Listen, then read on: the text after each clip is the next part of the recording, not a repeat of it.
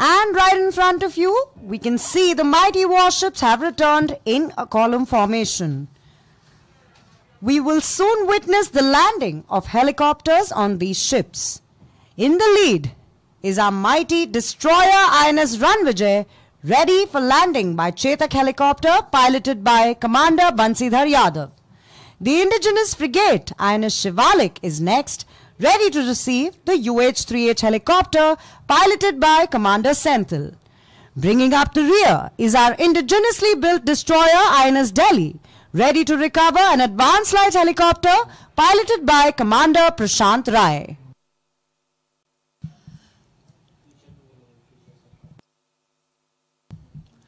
మీకు ఎదురుగా శక్తివంతమైన మూడు యుద్ధ నౌకలు ఒక నిలువ వరుసలో తిరిగి వచ్చాయి వీటి మీద హెలికాప్టర్లను దిగటాన్ని మనం చూడవచ్చు. ముందుగా శక్తివంతమైన డిస్ట్రాయర్ ఆయన సన్విజయ్ పై కమాండర్ బన్సీధర్ యాదవ్ నాయకత్వంలో ఉన్న చేతక్ ల్యాండ్ అవుతుంది. స్వదేశీ యుద్ధ నౌక ఆయన శివాలిక్ పైన కమాండర్ సెంథిల్ నాయకత్వంలో ఉన్న యుఎస్ త్రీ హెచ్ తర్వాతి స్థానంలో ఉంది.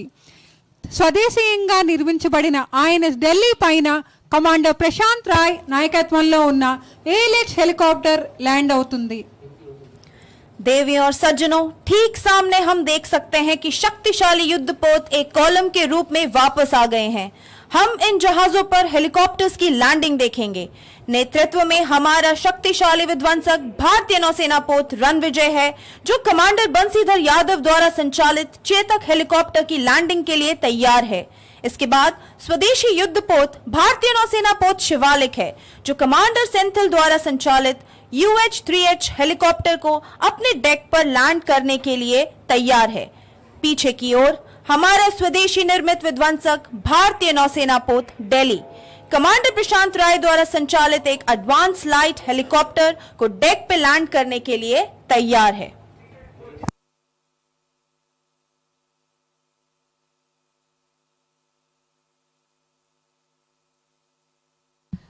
The Chetak helicopter is extensively used for logistics support, medical evacuation, and search and rescue missions over both land and sea, earning themselves the name of angels.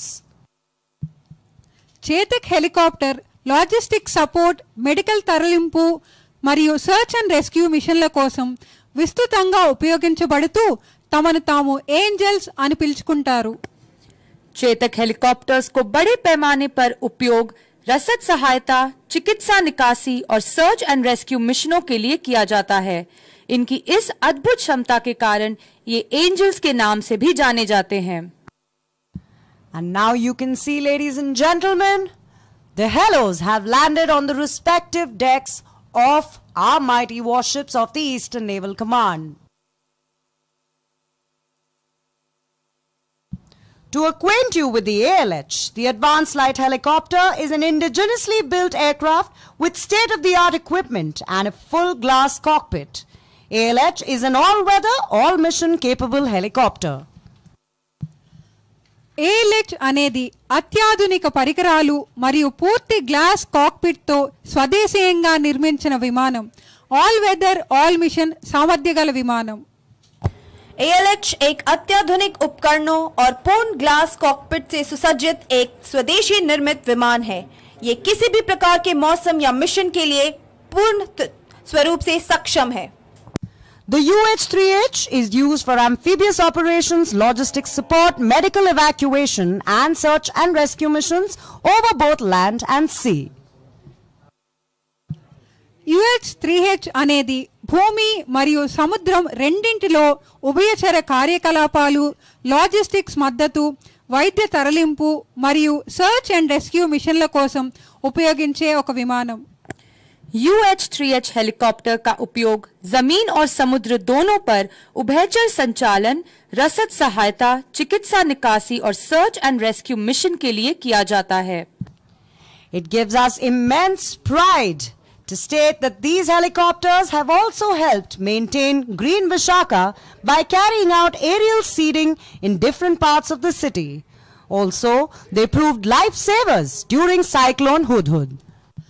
ఈ విమానాలు విశాఖపట్నంలో పలు చోట్ల ఏరియల్ సీడింగ్ ద్వారా green విశాఖని నిర్వహించడంలో ముఖ్యమైన పాత్రను పోషిస్తున్నాయి అంతేకాకుండా ఇవి హుదూద్ తుఫాను సమయంలో ఎన్నో ప్రాణాలు కాపాడగలిగాయి देवी और सज्जनों ये विमान शहर के विभिन्न हिस्सों में हवाई सीडिंग करके ग्रीन विशाखा को बनाए रखने में भी महत्वपूर्ण रहे हैं इसके अलावा ये हेलीकॉप्टर भीषण तूफान हुदहुद के दौरान जीवन रक्षक थे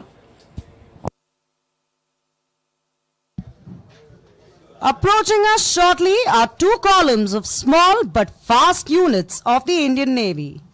These are power-packed immediate support vessels and ferocious fast interceptor crafts built for coastal security after the 2611 Mumbai attacks.